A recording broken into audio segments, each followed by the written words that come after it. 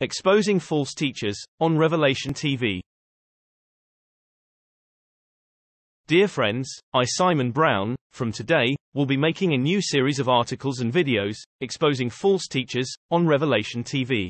In short, these false teachers, have been shown the truth countless times, over and over again, and yet, still refuse, to repent and believe the truth, all the time, and every time. Worse still, false teachers on Revelation TV, are deceiving others, by continuing to teach a false God, and a false Christ, and a false gospel, and a false heaven, and a false life directly after death, and false teachings of burning in hellfire day and night forever and ever Revelation chapter 14 verse 11, and the false rapture, with countless false Bible translations, making the Son into God, which denies the Father, and the Son, and the Christ 1 John chapter 2 verse 22.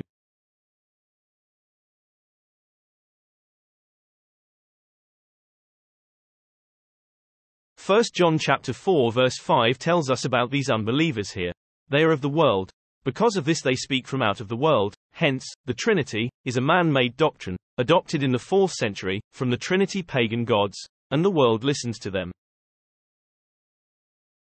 We will kick off, with the false teachers, on Revelation TV presenter Gordon Pettie of Church Without Walls, Time for Revelation, The Persecuted Church and Interviews and Documentaries. I'd like to introduce you to my newest book, published by the Sovereign World Trust.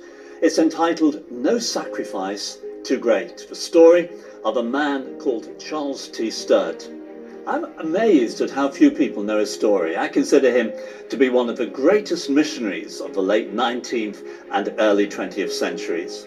One of his favourite quotes from which my book title came was, If Jesus Christ be God and died for me, then no sacrifice too great can be for me to make for him. And that's exactly how he lived his life. He gave away his fortune to Christian mission. It was enough for him to live on for the rest of his life. He's... Did you see that? Saying what these Trinitarians believe about Christ, saying, if Jesus Christ be God and died for me.